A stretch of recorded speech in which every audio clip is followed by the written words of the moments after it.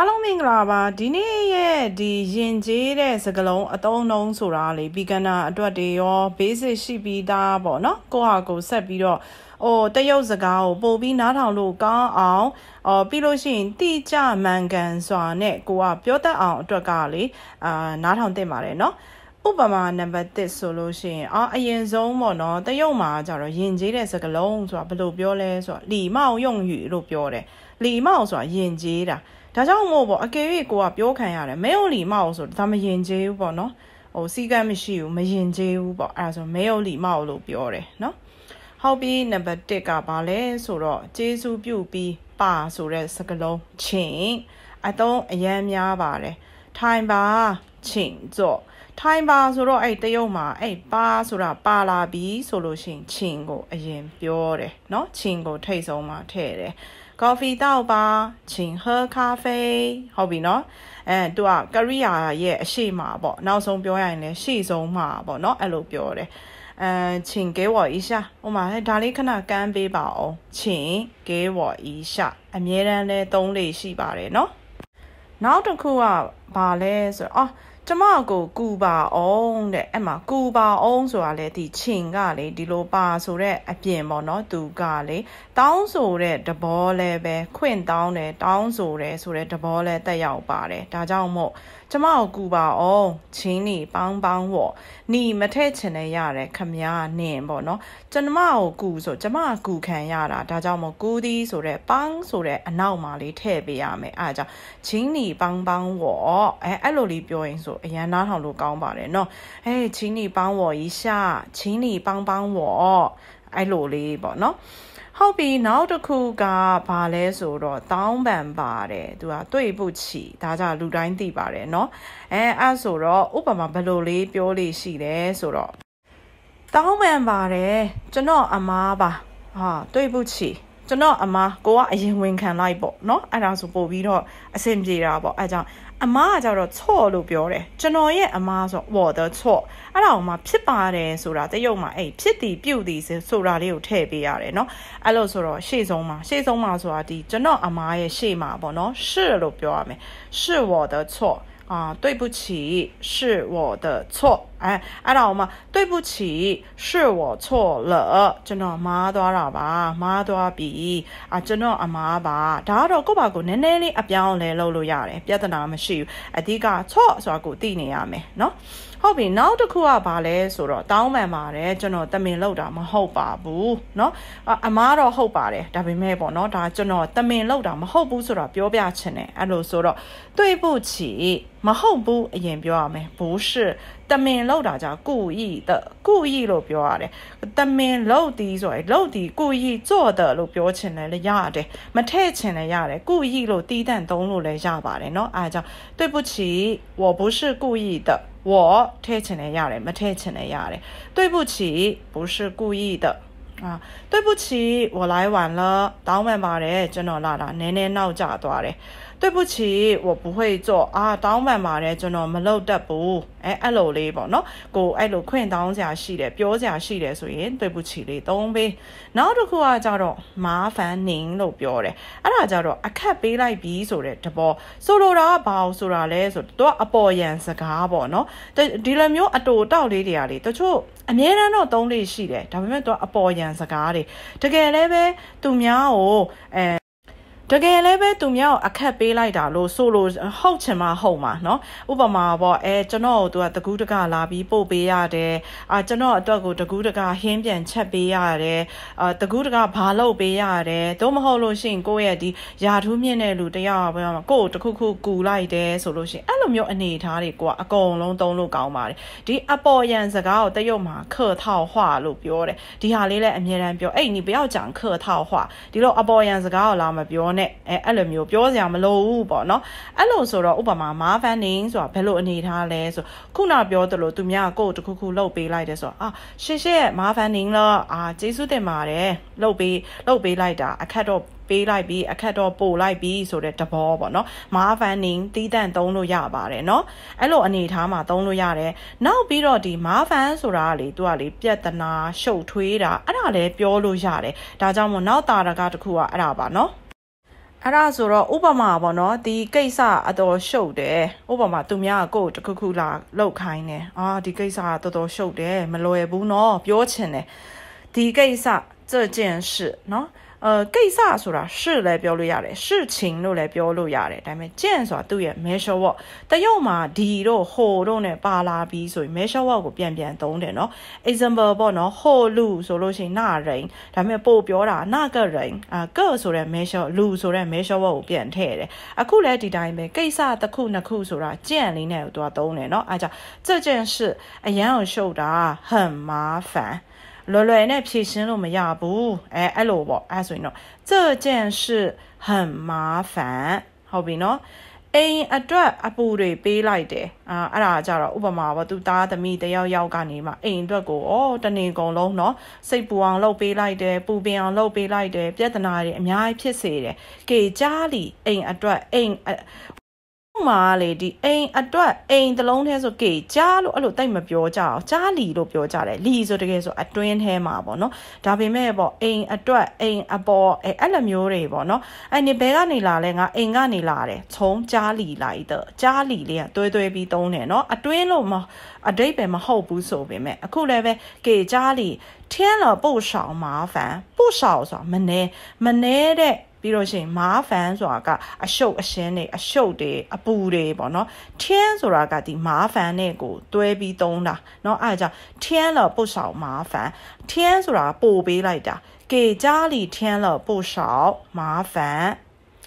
နောက်တစ်ခုကြတော့လေအာနောက်ဆက်သွားပြီ သူများဟွာပေါ့နော်ကိုဒီအဲမရှိတဲ့အချိန်ကနေတစ်ချက်တွေ့ပေးတာသို့မဟုတ်လို့ရှင်ကိုကသူများအိမ်ကိုသွားပြီးတော့တခုခုသွားပြောတာအဲ့မျိုးဆိုလို့ရှိရင်သားတော်လလို့ပြောတယ်သားတော်လသားတော်ဆိုတာတကယ်လဲနောက်ဆက်တည်တဲ့ဆိုတဲ့စကား ဥပမာပေါ့နော်။ဝမေကိုသားတော်နေပါဟဲ့ငါနေကိုမနောက်ဆက်ပါဘူးနော်။ဆိုလိုတာနဲ့အလုပ်မပြတ်သွားပါဘူးနော်။အဲအဲ့လိုပေါ့နော်။အဲ့ဒါကိုတရုတ်မှာဘယ်လိုထပ်ပြောလို့ရလဲဆိုနောက်အခွင့်အရေးကြုံရင်လာပါမယ်။နောက်အခွင့်အရေးရှိလို့ရှိရင်ထပ်ပြီးတော့လာနောက်ဆက်ပါမယ်ဆိုတဲ့တဘော။ဆိုလိုတာကိုနောက်ထပ်ထပ်လာမယ်။အဲ့ဒါကြောင့်တရုတ်မှာလေ။ကြိုက်天 တရက်ရက်ကြာရင်တရက်ရက်တနေ့နေ့ပေါ့နော်အဲ့ဒါကိုကြာတရုတ်မှာ gain ထင်းဆိုတဲ့ပုံတွေအသုံးအနှုန်းလေးရှိတယ်ဥပမာတချို့က gain ထင်းကျင့်လို့ပြောလေးရှိတယ်အဲတရက်ရက်ပြန်တွေ့မယ်နော်အတိအကျမပြောထားဘူးအပေါ်ယံစကားလည်းဖြစ်ကောင်းဖြစ်လိမ့်မယ်အဲဆို gain ထင်းလို့ပြောတယ်နော်အခွင့်အရေးရှိရင်ဆိုယုတ်ကြီးဟွေ့ 啊，改天有机会再来打扰，ထပ်ပြီးလာပါမယ်။အာနောက်နေ့အခွင့်အရေးရှိရင်ထပ်ပြီးနင့်စီလာပါမယ်။နေတို့ကုမ္ပဏီလာပါမယ်။နေတို့စက်ရုံလာပါမယ်။အဲ့လိုအနေထားကိုပြောတာပါနော်။改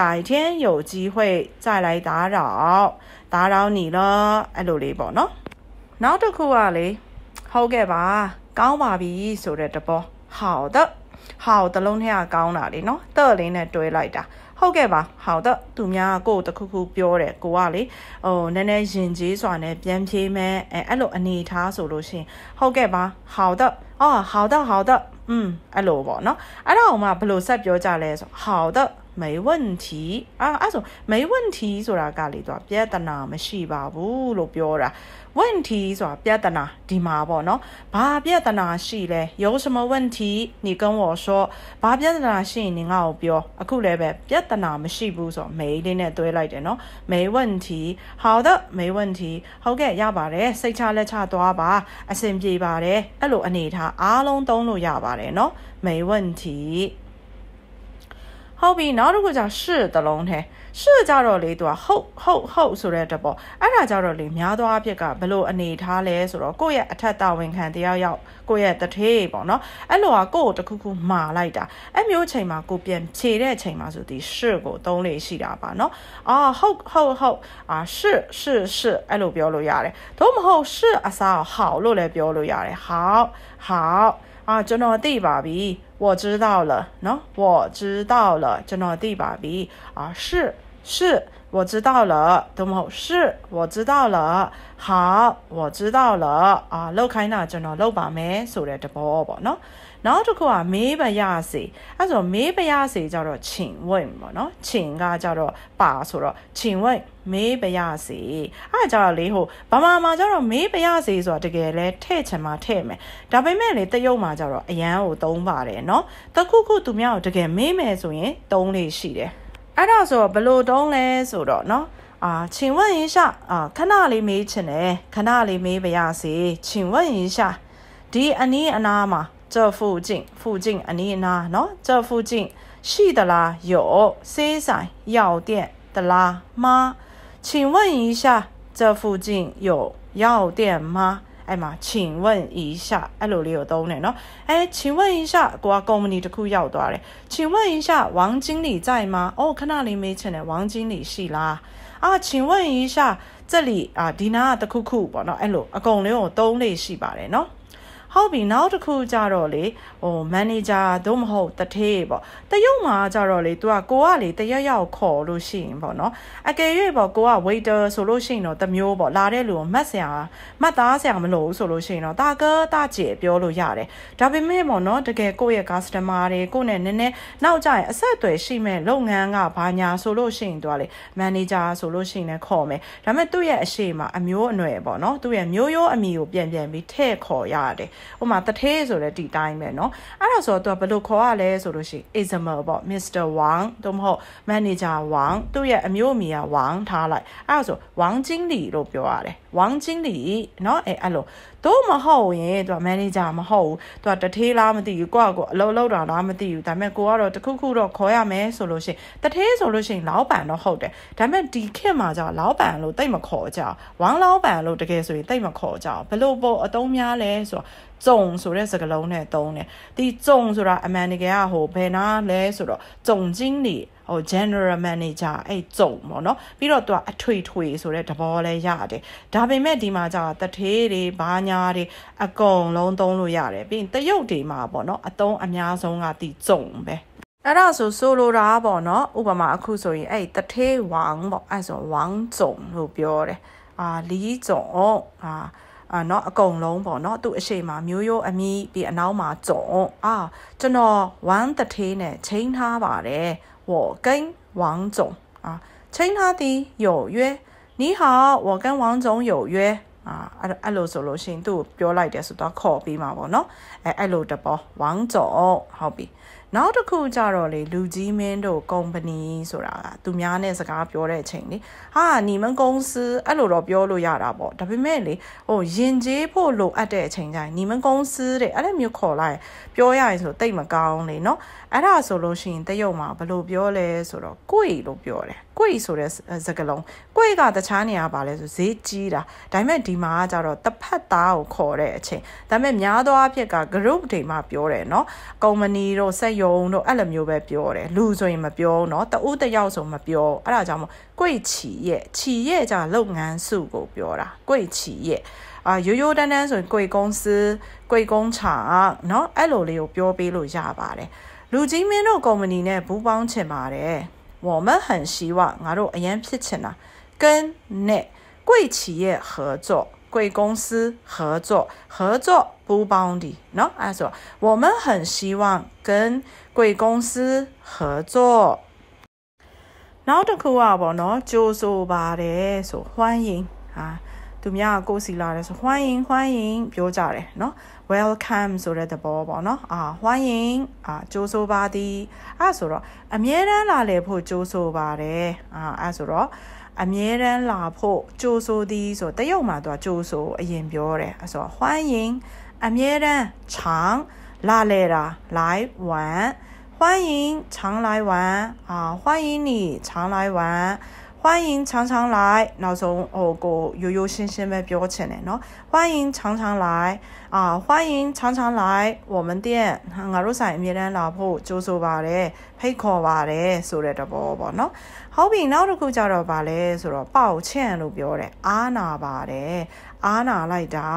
ပေါက်ချန့်เนาะပေါက်ချန့် ဟာဒီကိစ္စအပေါ်ကျွန်တော်တို့အရန်အားနာပါတယ်ဒီလိုကိစ္စဖြစ်သွားတာပေါ့နော်သူကလေဒီဟိုဟွာပေါ့အားနာသည်ဆိုတာအရန်ကိုတကယ်လေးလေးစားစားအားနာတဲ့အနေထားဆိုဒီပေါက်ချင်ကသုံးလို့အရန်အဆင်ပြေပါတယ်ပုံမှန်ဆိုလို့ရှိရင်အားနာသည်က不好意思လေနော်ဒါပေမဲ့အဲ့ဒါကြောင့်နည်းနည်းရိုးရိုးတန်းတန်းပေါ့အရန်ပြင်းပြင်းထန်ထန်မဟုတ်ဘူးလေးလေးနက်နက်မဟုတ်ဘူးဆိုရင်တော့ကိုက不好意思ပြောလို့ရတယ်ဒါပေမဲ့ပေါ့တကယ်တကယ်ဟိုပြောချင်တယ်ဆိုလို့ရှိရင်ပေါက်ချင်ကပို့ပြီးတော့အဆင်ပြေပါတယ်ဥပမာ ပေါ့နော်ဒီကိစ္စအပေါ်ဟာစကြင်ဆ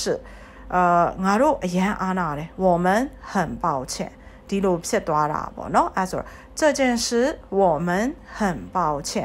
对这件事阿不，对，对，有贴的也罢了，喏，这件事我们很抱歉。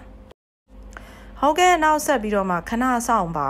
ခဏဆောင်ပါလေရိုးရိုးတန်းတန်းပြောတာပါကြီးလေတန်ကြီးရှာလေနော်ဟုတ်တယ်နော်တန်ကြီးရှာအဲ့လိုပြောတယ်ဒါပေမဲ့တကယ်ဆိုအဲ့ဒါကလည်းရိုးရိုးတန်းတန်းပြောတာပေါ့နည်းနည်းပို့ပြီးလေးလေးနက်နက်ပြောချင်တယ်ဆိုချိန်ရှားဟုတ်အာခဏလေးဆောင်ပါနော်ဧည့်သည်ကလာတယ်လူကြီးတွေလာတယ်အဲ့ဆိုရင်တော့ချိန်ရှားဟုတ်လို့ပြောတယ်ဥပမာပေါ့နော်ခဏဆောင်ပါမစ္စတာလီချက်ချင်းရောက်ပါမယ်အဲ့ဒါဆိုရင်တော့ အာ呃，请稍后，看他上吧，Mr. Lee 李总，喏，李总，啊嘛，总总，看哪咯，特提 Mr. L 的宝宝喏，李总，七千要吧没？七千个马上要第一个到吧喏，啊，李总马上到，请稍后，李总马上到，请稍后，李总马上到。